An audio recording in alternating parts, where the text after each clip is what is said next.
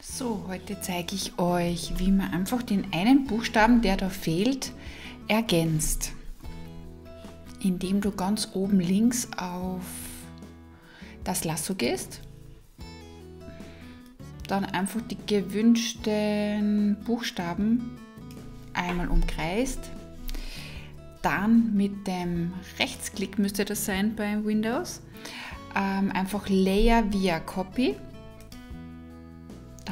habe ich das jetzt quasi in einer neuen Ebene gespeichert und jetzt gehe ich auf Transformieren und nehme diesen Buchstaben, weil der ist ja jetzt kopiert worden mit einer neuen Ebene und versetze ihn dorthin, wo ich ihn gern haben möchte. Einfach einmal gerade richten. Genau, sollte schon einmal passen, bestätigen.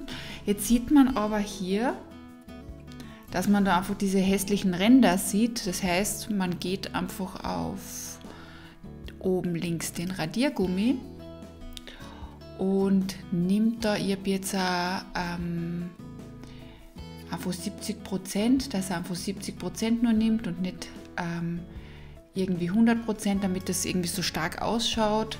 Ähm, habe einen weichen Pinsel genommen, das seht ihr das ja ähm, 60 die Größe und ähm, Stärke 45 und gehe dann einfach rund um das B herum. Man sieht dann schon, dass sich das super abhebt und dass man dann einfach diese, diese Kontraste jetzt wie vorher, dass man die einfach gar nicht mehr sieht. Innen drin auch nochmal und so haben wir schon das gewünschte P, so wie wir das haben wollen.